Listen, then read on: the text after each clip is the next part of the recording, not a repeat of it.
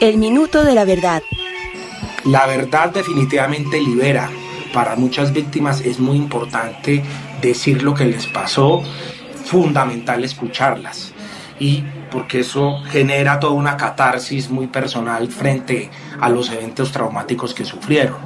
Y también es muy importante que el país, la sociedad, los otros escuchen ese tipo de historias, porque también eso ayuda a hacer conciencia sobre lo que pasó, sobre las diferentes afectaciones y en ese sentido yo creo que se crea toda una sinergia ¿no?